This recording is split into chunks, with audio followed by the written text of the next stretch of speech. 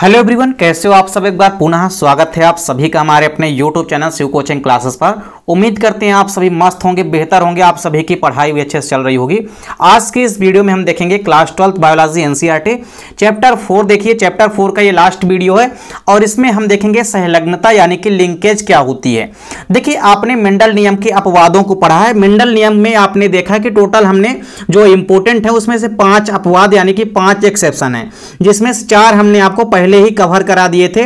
अपूर्ण प्रभाविता, सह प्रभाविता, बहुप्रभाविता और बहुविकल्पिता। एक हमारा छूट गया था सहलग्नता, यानी कि लिंकेज जिसको आज के इस वीडियो में हम समझने वाले हैं। चलिए सबसे पहले हम समझते हैं सहलग्नता क्या होती है और सहलग्न जीन क्या होते हैं।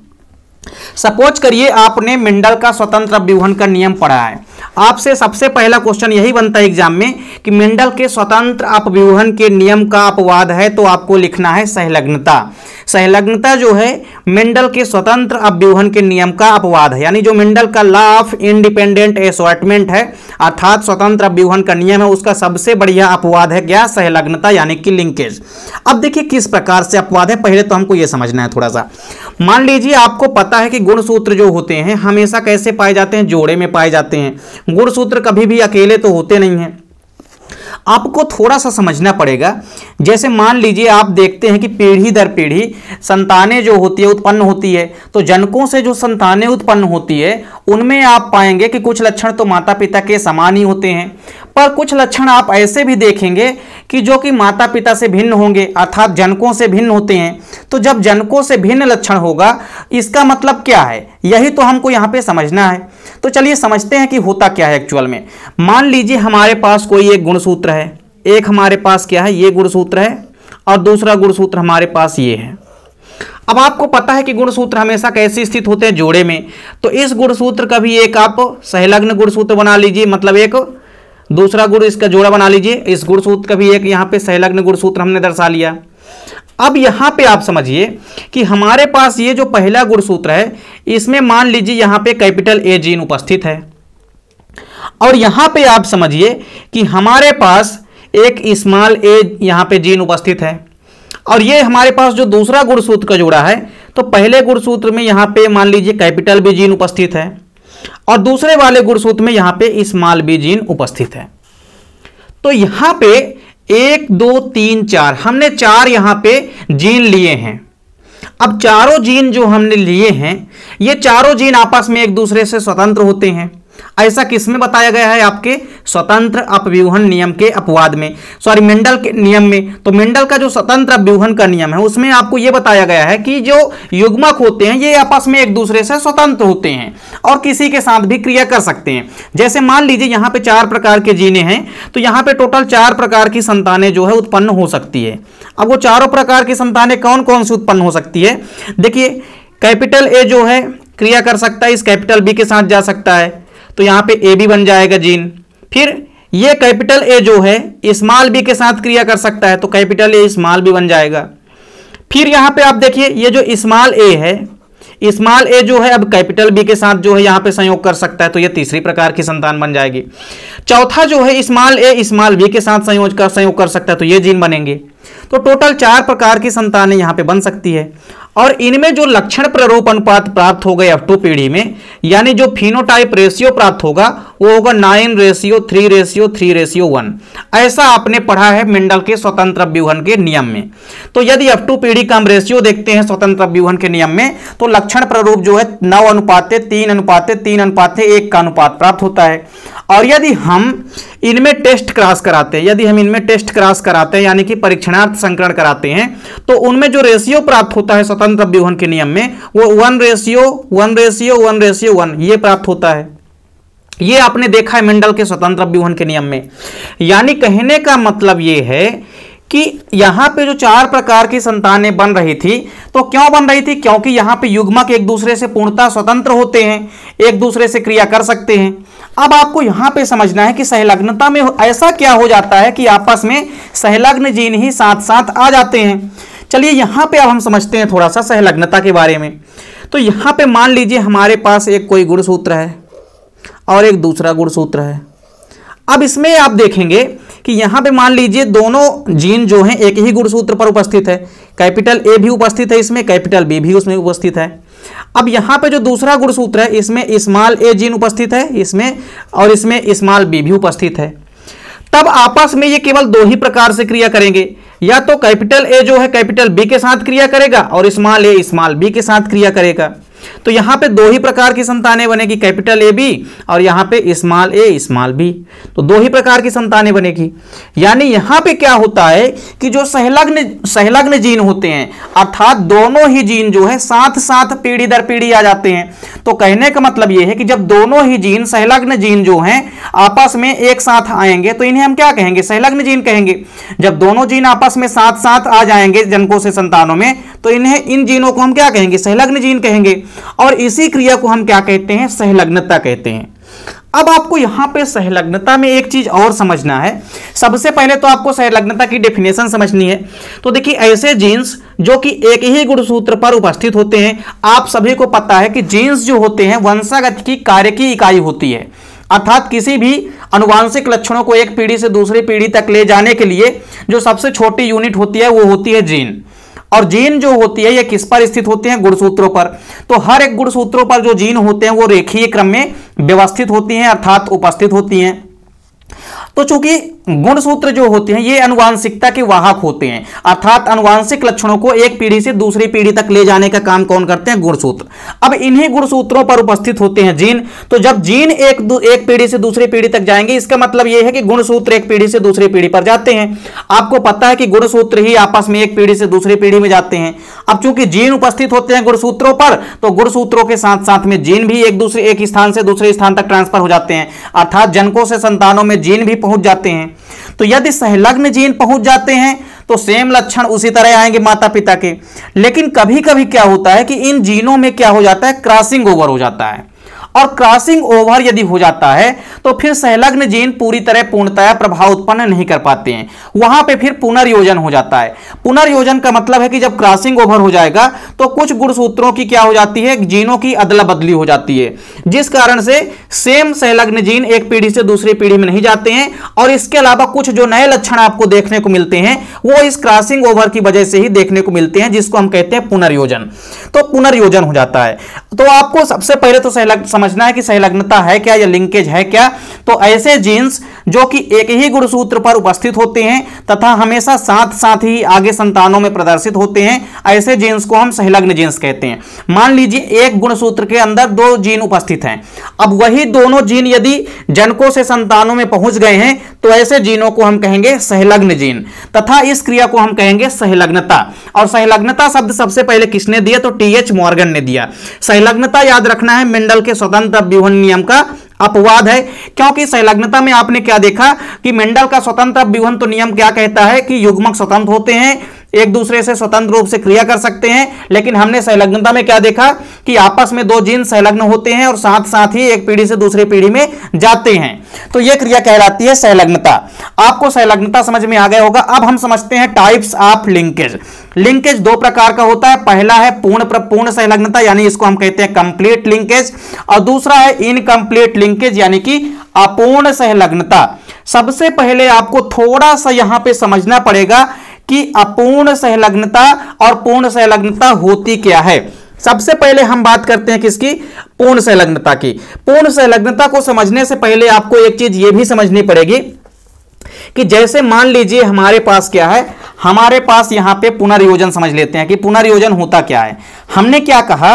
कि मान लीजिए हमने दो गुणसूत्र लिया है, एक गुणसूत्र में कैपिटल ए और कैपिटल बी जीन उपस्थित हैं, और दूसरे गुणसूत्र पर स्मॉल ए और स्मॉल बी जीन उपस्थित हैं।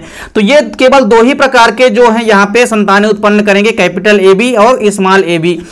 लेकिन कभी कभी क्या हो जाता है कि अब यही गुणसूत्र हैं, इनमें यदि मान लीजिए क्रॉसिंग ओवर की क्रिया हो जाती है तो सबसे पहले क्या होगा, इनके क्रोमेटिड अलग होंगे, अर्थात ए के क्रोमेटिड यहाँ पे आपको दिखाई देंगे और बी के भी क्रोमेटिड आपको इस प्रकार से दिखाई देंगे। उसी प्रकार स्मॉल ए और स्मॉल बी वाले गुणसूत्रों के जीन के भी क्रोमेटिड बन जाएँगे तो ये स्मॉल ए का क्रोमेटिड बन गया इस प्रकार से, और ये स्मॉल बी का बन गया। अब इनमें क्या होगा, यहाँ पे क्रॉसिंग ओवर होगा। तो संलग्न जीनों में कभी कभी क्रॉसिंग ओवर हो जाती है। अब यहाँ पे देखिए क्रॉसिंग ओवर हो गई।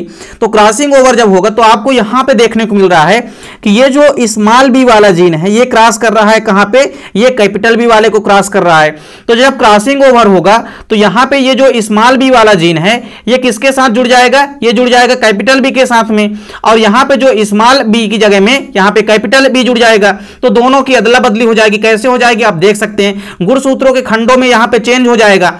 यहाँ पे आप देख सकते हैं, कैपिटल बी कैपिटल बी था। यहाँ पे आप देखिए ये कैपिटल भी कैपिटल भी है यहाँ पे क्या हुआ यहाँ पे जीन विनिमय हुआ तो जीन विनिमय के कारण यहाँ पे ये जो कैपिटल भी था कैपिटल भी यहाँ पे आपस में खंडों से एक दूसरे ने एक दूसरे को काटा तो यहाँ पे ये जो कैपिटल भी है कैपिटल बी की जगह में यहाँ पे क्या आ गया स्मॉल भी आ गया और यहाँ पे स्मॉल बी की जगह में देख सकते हैं स्मॉल बी स्मॉल भी था तो यहाँ पे एक स्मॉल बी की जगह में यहाँ पे काटा है तो यहाँ पे कैपिटल भी आ गया यानी इनके चेंजेस आ गए जीनों में तो जब जीनों में चेंजेस आ गए तो फिर यहाँ पे चार प्रकार की अब क्रमशः संतानें प्राप्त हो सकती है तो देखिए कैपिटल ए कैपिटल बी यहाँ पे हुआ।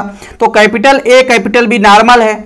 सेम उसी प्रकार यहाँ पे जिनमें संलग्नता नहीं हुई है, यहाँ पे क्रॉसिंग ओवर जिनमें नहीं हुआ है तो वहाँ पे स्मॉल ए है और स्मॉल बी तो ये आप देख सकते हैं स्मॉल ए और स्मॉल बी अब इन दोनों में जिनमें की क्रॉसिंग ओवर हुआ है तो क्रॉसिंग ओवर जिनमें हुआ है तो एक में तो है कैपिटल ए और यहाँ पे कैपिटल भी था, लेकिन चेंज हो गया तो क्या हो गया? स्मॉल भी हो गया। तो जिनमें जिनमें क्रॉसिंग ओवर हुआ है, उनमें पुनर्संयोजन हो गया। मतलब कुछ नए लक्षण भी पीढ़ी दर पीढ़ी देखने को मिलेंगे। तो पुनर्संयोजन या क्रॉसिंग ओवर के कारण पुनर्संयोजन हो जाता है, जिस कारण से ही सेम लक्षण जनकों के समान ना होकर के कुछ लक्षण जो है, जनकों से भिन्न भी पैदे, पैदा हो जाते हैं। तो यहाँ पे आप देख सकते हैं स्मॉल के साथ क्या गया, यहाँ पे कैपिटल भी आ चुका है। अब आपको समझना है यहाँ पे कि पूर्ण संलग्नता होती क्या है। तो पूर्ण संलग्नता का मतलब है, देखिए एक्चुअल में, कि जब संलग्न जीन में पुनर्योजन नहीं बनते हैं, अर्थात पुनर्योगज नहीं बनते हैं। अर्थात जिन संलग्न जीन में, जीन विनिमय नहीं होता है, उसे हम पूर्ण संलग्नता कहते हैं। तो देखिए, जब सहलग्न जीन जो हैं संलग्न जीनों में यदि जीन विनिमय की क्रिया नहीं होती है तो पुनर्योगज भी नहीं बनेंगे। तो जब पुनर्योगज नहीं बनेंगे तो इस प्रकार की संलग्नता को हम कहते हैं पूर्ण संलग्नता पूर्ण संलग्नता की यदि हम बात करते हैं तो इसका सबसे बड़ी एग्ज़ाम्पल है मेल ड्रोसोफिला। मेल ड्रोसोफिला यानी कि नर ड्रोसोफिला के अंदर पूर्ण संलग्नता यानी कि कंप्लीट लिंकेज देखने को मिलती है। इसमें आपको समझना पड़ेगा कि जैसे मान लीजिए यह ऐसे जीन्स के बीच पाई जाती है जो कि एक दूसरे के गुणसूत्र पर अत्यधिक पास पास उपस्थित होते हैं, जिसके कारण जीन विनिमय की क्रिया नहीं हो पाती है। अब आपको समझना पड़ेगा यहाँ पे, जैसे मान लीजिए हमारे पास गुणसूत्र हैं। अब इस इस गुणसूत्र में आपको समझना है कि मान लीजिए यहाँ पे जीन कोई कैपिटल ए जीन उपस्थित है। अब इस कैपिटल ए जीन के यदि पास में ही कोई जीन उपस्थित है तो कैपिटल ए के पास में यदि कोई जीन उपस्थित है तो इन जीनों में ये यानी कि ये जो दोनों जीन है, ये तो सहलग्न जीन है। तो सहलग्न जीनों में क्या होगा? क्रॉसिंग ओवर की क्रिया नहीं हो पाएगी। क्यों? क्योंकि जीन जो होते हैं पास पास यदि उपस्थित होते हैं तो उनमें क्रॉसिंग ओवर की क्रिया नहीं हो पाती है। तो जब क्रॉसिंग ओवर की क्रिया नहीं होगी तो इनमें पुनर्योगज नहीं बनेंगे। और जब पुनर्योगज नहीं बनेंगे तो इस प्रकार की सहलग्नता को हम क्या कहते हैं? पूर्ण सहलग्नता कहते हैं, यानी यानी कि कंप्लीट लिंकेज कहते हैं। और इसके अलावा आपने एक चीज़ ये भी देखी कि इसका सबसे बड़ी एग्जांपल किसमें देखने को मिलता है? मेल ड्रोसोफिला के अंदर। देखिए, मॉर्गन ने क्या किया? जब प्रयोग किया तो उन्होंने अपने प्रयोगों में क्या किया? भूरे रंग एवं लंबे पंखों वाले डोसोफिला का संकरण कराया। किसके किसके साथ कराया? काले रंग एवं अवशेषी पंखे वाली डोसोफिला के बीच कराया। तो यफवन पीढ़ी में उन्होंने क्या देखा कि भूरे रंग एवं लंबे पंख वाली संतानें ही प्राप्त होती है। अब आप यहाँ पे देख सकते हैं, बोलेंगे, सर, आप कैसे बता रहे हैं? तो आपको यहाँ पे समझना पड़ेगा किस तरह है। हमने क्या कहा कि मॉर्गन ने अपने प्रयोगों में क्या किया? जो जनक लिया, जनक में उन्होंने क्या लिया? ग्रे, यानी कि भूरे रंग वाली उन्होंने क्या लिया? ड्रोसोफिला लिया, मेल ड्रोसोफिला, और जिसके पंख कैसे थे? लंबे थे। इसका क्रॉस उन्होंने किसके साथ कराया? ब्लैक, यानी कि ब्लैक रंग वाले जो डोसोफिला थी, और अब अवशेषी पंखों वाले जो डोसोफिला थी, उसके साथ इन्होंने क्रॉस करा दिया। तो यानी उन्होंने भूरे रंग और लंबे पंखों वाली जो डोसोफिला है, उसका क्रॉस उन्होंने ब्लैक रंग और अवशेषी पंख वाली पंख पंख वाली डोसोफिला के साथ करा दिया। तो अब आप यहाँ पे देख सकते हैं कि भूरे रंग के लिए हमने जो जीन लिया है, वो लिया है कैपिटल जी कैपिटल जी। लंबे पंखों के लिए हमने जीन लिया है, कैपिटल भी कैपिटल भी। ब्लैक रंग के लिए हमने जीन लिया है स्मॉल जी स्मॉल जी। और वेस्टेजियल जो हमारा अवशेषी अंग है, अवशेषी जो पंख है सॉरी अवशेषी पंख के लिए उन्होंने क्या लिया है? यहाँ पे स्मॉल भी स्मॉल भी लिया है। तो अब देखिए इनके युग्मक बनेंगे। तो एक तो कैपिटल जी आ गया, एक स्मॉल भी आ गया। उसी प्रकार यहाँ पे एक स्मॉल जी आ गया, एक स्मॉल भी आ गया, जो कि गैमीट बन गए। तो जब जब युग्मक युग्मक बने तो इनके आधे आधे जीन आ गए। अब देखिए यहाँ पे जब यफ वन पीढ़ी प्राप्त होगी तो यफ वन संकर में हमको जो है प्रभावी लक्षण दिखाई देते हैं। तो यहाँ पे ग्रे और लंबे मतलब यहाँ पे हमको भूरे रंग वाली और लंबे पंखों वाली डोसोफिला दिखाई देती है यफ वन पीढ़ी में। अब इसका क्या किया मार्गन ने? अब इसके बाद मॉर्गन ने क्या किया कि F1 पीढ़ी में उन्होंने टेस्ट क्रॉस कराया। क्या किया उन्होंने? F1 पीढ़ी में उन्होंने अब टेस्ट क्रॉस कराया। तो जब उन्होंने टेस्ट क्रॉस कराया तो क्या देखा कि देखिए, जब उन्होंने ग्रे, यानी कि यानी कि सबसे पहले तो आपको यह समझना है कि टेस्ट क्रॉस होता क्या है। आपने टेस्ट क्रॉस पढ़ा है, टेस्ट क्रॉस का मतलब क्या होता है कि जब हम किसी भी पेरेंट्स का क्रॉस किसी भी पेरेंट्स का जो अप्रभावी जनक होता है, उसका क्रॉस हम एफ़ वन पीढ़ी की संतति के साथ कराते हैं। तो इस प्रकार के संकरण को हम क्या कहते हैं? टेस्ट टेस्ट क्रॉस कहते हैं। तो टेस्ट क्लास में हम क्या करेंगे कि एफ़ वन संकर में जो हमको प्राप्त हुआ है, अर्थात एफ़ वन पीढ़ी में जो हमको प्राप्त हुआ है ग्रे और लांग यानी कि भूरे रंग वाली और लंबी पंखों वाली जो डोसोफिला प्राप्त हुई है एफ़ वन पीढ़ी में इसका क्रॉस हम कराएँगे किसके साथ? इसका क्रॉस हम कराएँगे अप्रभावी जनक के साथ। तो यहाँ पे अप्रभावी जनक क्या है? ब्लैक और बेस्टेजियल पंख वाली जो डोसोफिला ये अप्रभावी जनक है। तो इसके साथ हमने क्रॉस करा दिया। तो देखिए यफवन पीढ़ी में हमको प्राप्त हुआ था ग्रे और लांग। तो हमने ग्रे और लांग पंखों वाली हमने क्या ले लिया? मेल डोसोफिला ले लिया।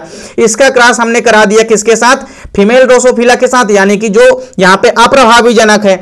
अप्रभावी जनक के साथ हमने कर, यहाँ पे क्रॉस करा दिया। तो इस क्रॉस को हम क्या कहेंगे? टेस्ट क्रॉस कहेंगे। अब देखिए जब क्रॉस हुआ आपस में तो हमने यहाँ पे लंबे पंखों वाली और भूरे रंग वाली जो डोसोफिला उसके जीन ले लिए हैं। और और ब्लैक और बेस्टेजियल का जीन हमने ले लिया है। आपस में क्रॉस कराइए तो कुछ इस प्रकार से संतानें हमको प्राप्त होगी। तो जब हम इनमें आपस में क्रिया कराते हैं तो हम ये देखने को पा रहे हैं कि यहाँ पे केवल और केवल, यहाँ पे आप कैपिटल भी बना लीजिए। तो यहाँ पे हमको ये देखने के लिए मिल रहा है कि केवल और केवल यहाँ पे आपको देखना है कि केवल और केवल क्या प्राप्त हो रहा है। ग्रे और लांग वाले ही, लांग वाले ही यहाँ पे डोसोफिला प्राप्त हो रहे हैं और यहाँ पे ब्लैक और वेस्टिजियल पंख वाले ही यहाँ पे डोसोफिला प्राप्त हो रहे हैं। कहने का मतलब ये है यहाँ पे कि यहाँ पे आपने ये देखा कि मान लीजिए जैसे हमने लक्षण लिए हैं, हमने जनकों में जो लक्षण लिया था, जनकों में हमने क्या लक्षण लिया था? जनक में हमने लक्षण लिया है ग्रे यानी कि भूरे रंग वाली और लंबी पंखों वाली हमने मेल डोसोफिला को लिया है। और इसके अलावा आप देख सकते हैं कि हमने ब्लैक यानी काले रंग वाले और वेस्टेजियल पंख वाले यानी कि अवशेषी पंखों वाले हमने डोसोफिला को लिया था। तो ये हमारे जनक थे। सेम उसी प्रकार से यहाँ पे दो ही प्रकार की संतानें प्राप्त होगी। जैसा कि आप देख पा रहे हैं, यहाँ पे हमको केवल और केवल लंबे पंखों वाली और भूरे रंग वाली ही संतानें प्राप्त होती है और आधी संतानें जो है ब्लैक रंग की और अवशेषी पंखों वाली प्राप्त होती है। कहने का मतलब यह है कि यहाँ पे सहलग्न जीन पूरी तरह से एक पीढ़ी से दूसरी पीढ़ी में आ गए हैं, जिस कारण से हमको पूरे प्रकार से यहाँ पे दो ही प्रकार से संतानें देखने को मिल रही है, जिस प्रकार से हमारे एकदम से जनक थे। तो जनकों के समान ही संतानें यहाँ पे देखने को मिलती है। इनका रेशियो एक अनुपात एक है, यहाँ पे आप देख भी सकते हैं। तो कहने का मतलब यह है कि जब भी पूर्ण सहलग्नता पाई जाती है, पूर्ण सहलग्नता में आपको याद रखना है कि हमने क्रॉस कराया दो जनक लक्षण लेकर के और उनके बाद हमको यफ पीढ़ी प्राप्त हुई। यफ पीढ़ी का क्रॉस हमने किसके साथ कराया? अप्रभावी जनक के साथ कराया, यानी कि हमने टेस्ट क्रॉस कराया। तो जब हमने टेस्ट क्रॉस कराया तो हमने क्या देखा टेस्ट क्लास में? टेस्ट क्लास में हमने ये देखा है कि हमको यहाँ पे केवल और केवल जनकों के समान ही संतानें प्राप्त होती है, क्योंकि सहलग्न जीनों में किसी प्रकार से क्रॉसिंग ओवर नहीं हुआ है। इस प्रकार से पुनर्योगा जिनमें नहीं हुआ, जिस कारण से पूर्णतया जो है यहाँ पे पूर्ण सहलग्नता देखने को मिलती है। अर्थात पूरी तरह से सहलग्न जीन जो है, जनकों से संतानों में प्राप्त हो जाते हैं। तो ये है नर डोसोफिला में पूर्ण सहलग्नता यानी कि complete linkage of male Drosophila या आप ये कह सकते हैं complete linkage in male Drosophila तो मेल ड्रोसोफिला में पूर्ण संलग्नता आपने देखी। इस प्रकार आप देखेंगे कि अपूर्ण संलग्नता क्या होती है। तो उम्मीद करता हूँ कि कंप्लीट लिंकेज तो आपको समझ में आ गया होगा।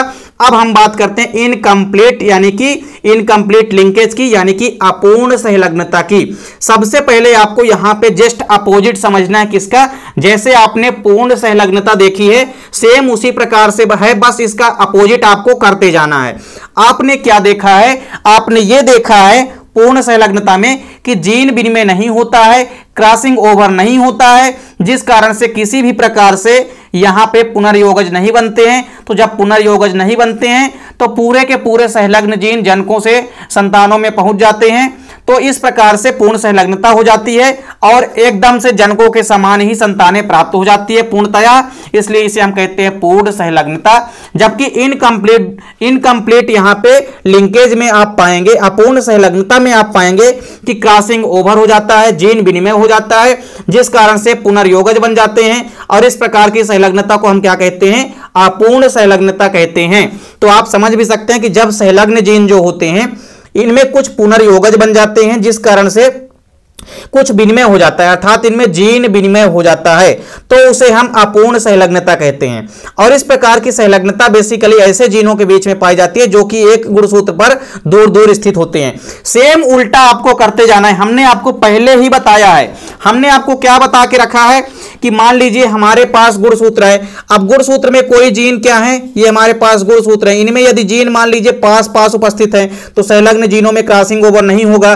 और संलग्न जीन जो है पुनर्योगज का निर्माण नहीं करेंगे। इस प्रकार से पूर्ण संलग्नता देखने को मिलेगी। लेकिन अपूर्ण प्रभाविता किनमें पाई जाएगी? ऐसे गुणसूत्रों पर पाई जाएगी जिनमें जीन दूरी दूरी स्थित होते हैं। तो जब जीन दूरी दूरी स्थित होते हैं तो उनमें क्रॉसिंग ओवर की क्रिया हो जाती है, जिस कारण से पुनर्योगज बन जाते हैं अतिरिक्त, और पुनर्योगज के बन जाने के कारण ही तो नई प्रकार की संतानें भी उत्पन्न हो जाती है एफ़ पीढ़ी में। तो कहने का मतलब यह है कि अपूर्ण सहलग्नता जो होती है, जब सहलग्न जीनों में कुछ पुनर्योगज बन जाते हैं, अर्थात सहलग्न जीनों में क्रॉसिंग ओवर हो जाता है, जिस कारण से सहलग्न जीनों में पुनर्योगज बन जाते हैं। और इस प्रकार की सहलग्नता को हम अपूर्ण सहलग्नता कह देते हैं, और अपूर्ण संलग्नता ऐसे जीनों के बीच पाई जाती है जो कि किसी भी गुणसूत्र में दूर दूर स्थित होते हैं। तो जब जीन में जीन दूर दूर स्थित होते हैं गुणसूत्रों पर तो उनमें ही क्या होता है? जीन विनिमय होने का चांसेस होता है और जीन विनिमय का चांस जितना ज़्यादा होगा, पुनर्योगज उतने ही ज़्यादा बनेंगे। तो जीन्स जितने ही ज़्यादा दूर दूर स्थित होंगे, उतने ही ज़्यादा पुनर्योगज बनने के चांसेस बढ़ेंगे। और जीन जितने ही पास पास होंगे, उनमें पुनर्योगज होने का चांस उतना ही कम है, क्योंकि जीन विनिमय उतना ही कम होगा। और इस प्रकार के जीन जो होते हैं, अपूर्ण संलग्न जीन कहलाते हैं तथा उनकी वंशागति की दशा जो है अपूर्ण संलग्नता कहलाती है। अब आप यहाँ पे अपूर्ण संलग्नता को पूरा का पूरा यहाँ पे आप ग्राफिकल फॉर्म में समझेंगे। जैसे हमने आपको समझाया है पूर्ण संलग्नता यानी कि कंप्लीट लिंकेज उसी प्रकार यहाँ पे आपको अपूर्ण संलग्नता समझनी है। अब यहाँ पे आप समझिए कि अपूर्ण संलग्नता में होगा क्या। हमने आपको क्या कहा? कि पूर्ण संलग्नता में क्या होता है? कि संलग्न जीन जो है, पूरी तरह से संतानों में प्राप्त हो जाते हैं, अर्थात एक पीढ़ी से दूसरी पीढ़ी में पहुँच जाते हैं। लेकिन यहाँ पे क्या होगा? पूर्ण संलग्नता में जीन विनिमय हो जाएगा। और जब जीन विनिमय होगा तो नए प्रकार के यहाँ पे, नए प्रकार के लक्षणों का भी समावेश हो जाएगा। अर्थात नई प्रकार की संतानें भी यहाँ पे बन जाएगी। तो आपको यहाँ पे समझना पड़ेगा कि इनकम्प्लीट डोमिनेंस में क्या होता है, या इनकम्प्लीट यहाँ पे लिंकेज है सॉरी इनकम्प्लीट लिंकेज में आपको क्या करना पड़ेगा कि हमने क्या किया कि रंगीन बेसिकली जो इनकम्प्लीट डोमिनेंस है इनकम्प्लीट लिंकेज है सॉरी इनकम्प्लीट लिंकेज में यहाँ पे आपको याद रखना है कि इसमें, इसको सबसे पहले किसमें देखा गया? मक्के में देखा गया। तो मक्के में देखा गया सबसे पहले अपूर्ण संलग्नता यानी जॉन हचिनसन ने सबसे पहले मक्के में जो है अपूर्ण संलग्नता खोजी। इन्होंने क्या किया कि रंगीन बीज लिया। रंगीन जो है सॉरी रंगीन और भरे हुए मक्के को लिया। इन्होंने कैसे बीज लिया? जो मक्के के बीज होते हैं तो एक तो उन्होंने लिया रंगीन बीज और भरे हुए बीजों को लिया। और दूसरी साइड उन्होंने रंगहीन तथा सिकुड़े हुए बीजों को लिया। तो रंगीन के लिए उन्होंने capital C capital C gene लिया, जबकि भरे हुए बीजों के लिए उन्होंने यहाँ पे capital S capital S gene लिया। रंगहीन बीजों के लिए उन्होंने स्मॉल से स्मॉल से जीन लिया और यहाँ पे सिकुड़े हुए यहाँ पे जो बीज थे, उसके लिए उन्होंने स्मॉल एस स्मॉल एस लिया। अब आपस में देखिए, जो एफ़ वन पीढ़ी प्राप्त हुई तो उसमें से एक तो आ जाएगा किसका? एक तो आ जाएगा भैया इसमें से कैपिटल सी, कैपिटल एस आ गया, इसमें से आ गया स्मॉल सी स्मॉल एस क्योंकि दोनों गुणसूत्रों के जीन क्या है, एक समान है तो आप किसी को भी ले आइए एक को। तो एक इसका आ गया और एक इसका आ गया। जैसे आप युग्मक बनाते हैं ना तो युग्मक में आपने देखा है कि आधे आधे आ जाते हैं। उसी प्रकार से यहाँ पे देखिए, दो यहाँ पे कैपिटल सी है तो एक कैपिटल सी आ गया और दो कैपिटल एस में से एक कैपिटल एस आ गया। सेम वही प्रोसेस यहाँ पे दो स्मॉल सी दो जीनों में से एक जीन एक जीन सी आ गया और दो स्मॉल एस से एक एस आ गया। अब यह वन पीढ़ी हमको प्राप्त हो चुकी है। अब आपको यहाँ पे समझना क्या है कि यह वन पीढ़ी जो प्राप्त हुई है, इसमें अब हमको कराना है क्या? बैक क्रॉस कराना है। तो बैक क्रॉस जब हम कराएँगे तो इसमें हम क्या कराएँगे? अप्रभावी जनक के साथ हमको कराना है क्रिया। और किसकी क्रिया करानी है? तो इसकी क्रिया करानी है हमको किसके साथ? ये जो यवन पीढ़ी में हमको प्राप्त हुए हैं, इसकी क्रिया करानी है हमको किसके साथ? बैक क्रॉस क्रॉस कराना है। अब होता क्या है एक्चुअल में? कि यहाँ पे बस आपको ध्यान देना है थोड़ी सी चीज़। हमने क्या कहा कि कंप्लीट डोमिनेंस में किसी भी प्रकार से कंप्लीट लिंकेज में, यानी कि पूर्ण संलग्नता में किसी भी प्रकार से जीन विनिमय नहीं होता है, जिस कारण से पुनर्योगज भी नहीं बनते हैं। लेकिन यहाँ पे ये जो एफ़ पीढ़ी प्राप्त हुई है, इसमें क्या हो जाता है? जीन विनिमय हो जाता है। देखिए, सबसे पहले आपको क्या करना है? एक कैपिटल सी और एक कैपिटल एस को यहाँ पे लिख लेना है। और इधर साइड भी एक स्मॉल सी स्मॉल एस को लिख लेना है। और इनके बीच एक बार आपको यह भी दिखा देना है कि इनमें जो है जीन विनिमय हो रहा है। तो जीन विनिमय कैसे होगा देखिए, ये कैपिटल सी है और कैपिटल एस है। अब इसमें जब जीन विनिमय हुआ तो स्मॉल सी है और स्मॉल एस है।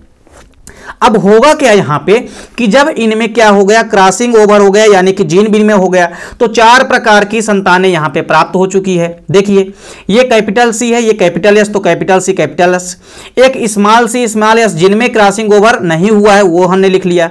अब जिनमें क्रॉसिंग ओवर हुआ है, उनमें आप क्या देख रहे हैं कि यहाँ पे कैपिटल सी था, और जब क्रॉसिंग ओवर हुआ तो इनमें क्या हुआ, खंड आपस में अलग हो गए, और यहाँ पे कैपिटल सी के साथ जुड़ जाएगा। अब यहाँ पे स्मॉल एस तो यहाँ पे अब आप देख सकते हैं कि कैपिटल सी के साथ, इस कैपिटल सी के साथ जुड़ गया, यहाँ पे क्या? स्मॉल एस जुड़ गया। उसी प्रकार से आपको यहाँ पे क्या देखने को मिल रहा है कि ये वाला जो स्मॉल सी है, इस स्मॉल सी के साथ यहाँ पे स्मॉल एस जुड़ा हुआ था। लेकिन जीन का विनिमय हो गया तो खंड यहाँ से अलग होकर के ये स्मॉल एस जो है कैपिटल सी के साथ जुड़ गया है और कैपिटल सी के साथ जो कैपिटल एस था, ये स्मॉल सी के साथ जुड़ गया है। तो स्मॉल सी के साथ ये जो कैपिटल एस जुड़ गया है, ये हमने दिखा रखा है। तो चार प्रकार की यहाँ पे संतानें प्राप्त हो गई।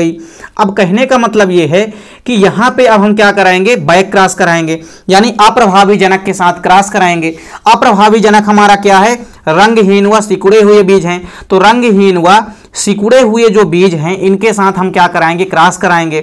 तो इनके साथ जब हम क्रॉस करा दिए तो देखिए यहाँ पे क्या हो रहा है। ये तो चारों ही प्रकार के जो संतानें हैं, ये तो क्रॉस करेंगी ही। लेकिन यहाँ पे जो बैक क्रॉस हम करा रहे हैं अप्रभावी जनक के साथ तो यहाँ पे सेम सेम दोनों दोनों यहाँ पे गुणसूत्र सेम है। तो हम यहाँ पे एक ले लेंगे। युग्मक जब बनाएँगे तो दो में से एक ही आएगा। तो दो कैपिटल सी में से एक कैपिटल सी आ गया, एक यहाँ पे सॉरी स्मॉल सी आ गया और स्मॉल एस आ गए। तो यहाँ पे आप क्या देख पा रहे हैं कि जब हम इनकी आपस में क्रॉस कराते हैं तो आपस में अब इनकी करा देनी है क्रॉस आपको। देखिए तो डायरेक्ट आप ले आइए, यहाँ पे कैपिटल सी कैपिटल एस है तो हमने कैपिटल सी कैपिटल एस ले लिया। इसका क्रॉस आपको करा देना है स्मॉल सी स्मॉल एस के साथ। तो जो समझात गुणसूत्र बना इसमें स्मॉल सी और स्मॉल एस ये वाला आ गया। सेम उसी प्रकार स्मॉल सी स्मॉल एस को ले आइए, इसका क्रॉस करा दीजिए इसके साथ। फिर इसके बाद कैपिटल सी स्मॉल एस का करा दीजिए किसके साथ? इसके साथ। फिर एक बार स्मॉल सी कैपिटल एस का करा दीजिए इसके साथ। तो चारों की क्रिया आपस में करा देनी है।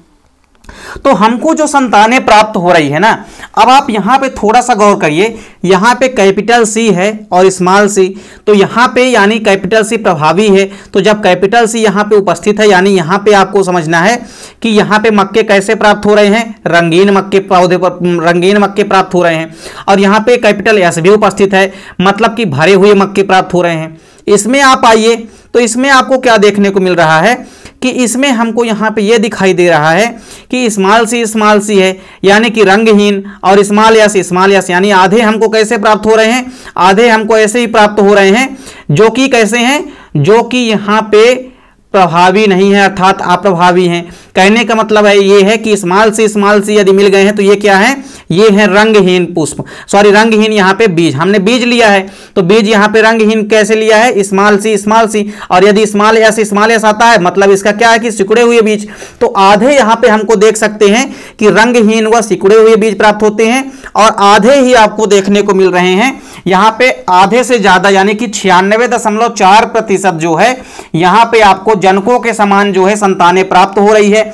लेकिन आधे से बहुत ज़्यादा कम मात्रा में, यानी यहाँ पे आप पाएँगे कि तीन दशमलव चार प्रतिशत ही ऐसी संतानें प्राप्त हो रही है जिनमें की जिनमें की क्या है? अलग लक्षण है, यानी कि नए लक्षणों का समावेश हो गया है।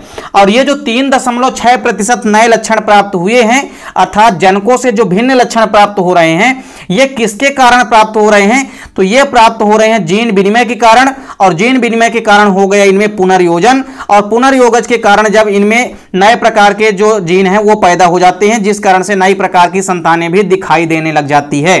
तो कहने का मतलब यह है यहाँ पे कि यहाँ पे कुछ नई प्रकार की संतानें भी दिखाई देने लग जाती है। इसी को हम कहते हैं अपूर्ण सहलग्नता अर्थात पूरे की पूरे जो सहलग्न जीन होते हैं, वो जनकों से संतानों में नहीं आ पाते हैं, क्योंकि उनमें क्रॉसिंग ओवर हो जाता है, जिस कारण से कुछ जीनों की अदला बदली हो जाती है। और पूरे के पूरे लक्षण जो हैं, जनकों के समान संतानों में नहीं आ पाते हैं। कुछ जीन की अदला बदली हो जाती है, जिस कारण से पुनर्योगज बन जाते हैं और पूर्ण सहलग्नता नहीं हो पाती है। और इस प्रकार की सहलग्नता को हम कहते हैं अपूर्ण संलग्नता, यानी कि इनकम्प्लीट लिंकेज तो उम्मीद करता हूँ कि आपको लिंकेज क्या होती है और पूर्ण संलग्नता हुआ, अपूर्ण संलग्नता समझ में आ गई होगी। मिलते हैं नेक्स्ट वीडियो में, तब तक के लिए जय हिंद, वंदे मातरम।